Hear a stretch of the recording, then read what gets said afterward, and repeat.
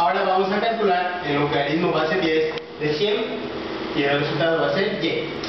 Vamos a recordar que es el que significa logaritmo base 10 de 100 igual a y. Lo que buscamos es a qué potencia, o sea y, debemos elevar el 10 para que obtengamos 100. Aquí están todos los números que están apareciendo. Esta es la base, esta es la potencia y este es el resultado. Entonces tenemos 100 igual a 10 a la y. Ahora, ¿cuánto debe valer y? Pues y debe valer 2, porque 10 por 10 es igual a 100. Este es un ejemplo de cómo calcular un logaritmo base 10 de 100.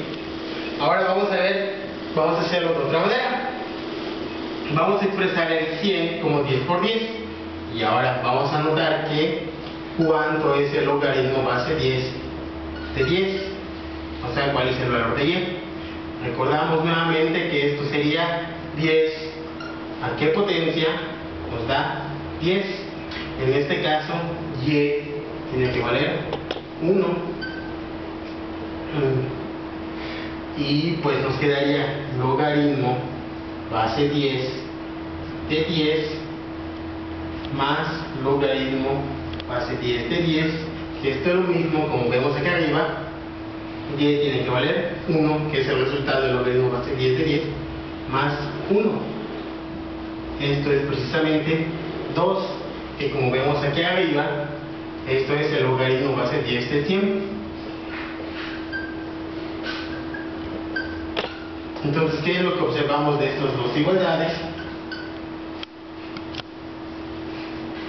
Que aquí tengo la misma base, el logaritmo base 10, pero aquí tengo el 100 expresado como producto de 10 por 10.